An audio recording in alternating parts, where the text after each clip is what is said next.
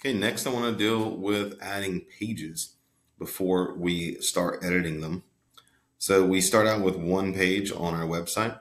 Some sites, if you're making them really quickly, you may just want to have a, a one page site to, to give out quick information about an event or something of that nature. But most of the time, we're going to want to have pages, right? So it's pretty simple to notice that this right pane over here is where we will add stuff. That's our three giant menu options. So we're going to start with pages and you'll notice that we have our home page. And notice that it says home, even though I've named it home page. Um, to add another page, I simply click the plus sign and I will name it whatever I like. I'm gonna name this one um, class information. That's always the first one I would add um, to my site and I'm gonna click done. You notice that it takes me to this page, but it also adds it over here whenever you add a page like this, notice that it adds it to your nav menu too. So every page you add like that will be added across here, across the top. And I can use this to navigate just like my audience will to go back and forth between my home and my class information. I may also want to add a sub page to class information, maybe something that holds my syllabus or my class rules or something that um, warrants its own page. Maybe it doesn't fit on my class information page later.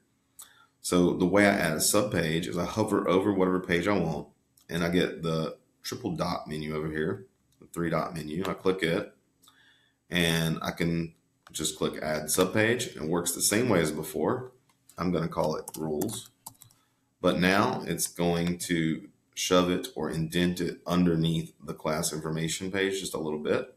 And notice that it does not appear in the navigation, but it appears as a little drop down when I hover over its parent page in navigation.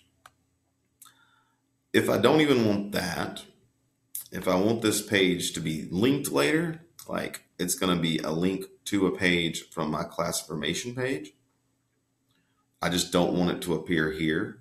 Maybe you've done this a bunch of times and this menu is getting really long and you just don't want it in the way anymore. Or maybe it's something you use in parts of the year that you don't use all year. You can hover over any page you like, click on the three dot menu, and hit hide from navigation. That is not deleting the page, it's just hiding it from navigation. So you will get this little crossed out emblem on the page and it will not appear in the menu. So the page does exist, but nobody will find it unless you've linked it to another page somewhere else. So that's the basic structure of your navigation over here anything that shares a vertical line with the home page is going to appear in navigation unless you hide it. Anything that's indented under a page with a little triangle that you can toggle on and off is a subpage. That's it for now.